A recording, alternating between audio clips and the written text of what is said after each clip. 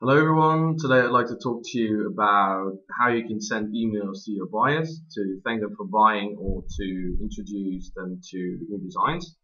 We've got a successful campaign, uh, it could be a very good idea to uh, launch a new design for the same niche, that way you can use the same audience uh, again for your new campaign.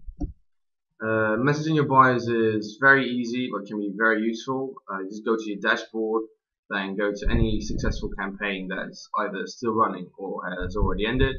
Then you just click on message buyers. Uh, then you insert the whatever subject you want to have. Uh, this one I wrote earlier.